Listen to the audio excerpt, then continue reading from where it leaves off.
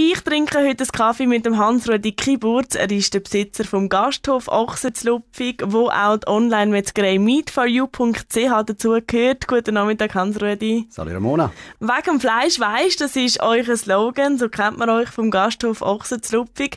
Aber auch für die Online-Metzgerei meetforyou.ch sind ihr bekannt. Eine Online-Metzgerei, für die, die sich das nicht vorstellen können, was ist das genau? Äh, das ist eine Metzgerei, wo man kann Fleisch bestellen wie in einer normalen Metzgerei, einfach mit dem Unterschied, dass man das daheim am Computer oder Smartphone macht und sich schön Zeit kann bei der Bestellung genau auswählen kann, was man will und dann äh, die Ware bestellt und man nachher entweder das Fleisch bei uns in Lupfig beim Gasthof abholen oder es zugeschickt bekommt per Post. Wie bleibt das frisch? Wir verpacken das gut verpacken in eine Kartonschachtel, umschlossen mit einer speziellen Hanfmatte und tun nachher gefrorenes, lupfiger Quellwasser dazu als sogenannten Kühlakku und somit kommt das Fleisch nachher tiptop picobello kühlt an innerhalb von 24 Stunden.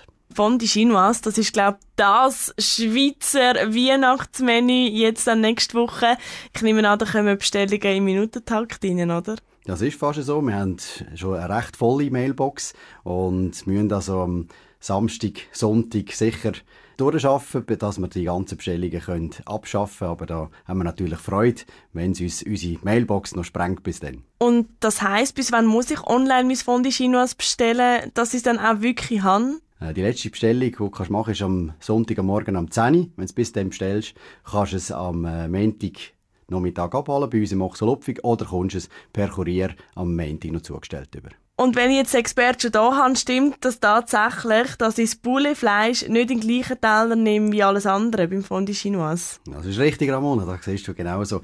Ähm, das tut man auf einen separaten Teller, wenn es noch frisch ist, und tut es nachher von einem separaten Teller direkt in die Bouillon reinheben und nachher nimmt man es von der Bouillon, nachher kocht raus und erst dann kommt es auf den Teller, wo man noch das andere Fleisch und Zöseli hat. Wenn jetzt mal das passiert, so im Falle der Fälle, dass mein Fleisch nicht ankommt, das ich bestellt habe, was ist dann? Dann tun wir das selbstverständlich ersetzen. Da ist der Hans-Rudi Kiburz, Besitzer vom Gasthof Ochsenzlupfig mit der Online-Metzgerei meetforyou.ch. Danke für den Besuch und schöne Festtage. Wünsche ich dir auch. Alles Gute.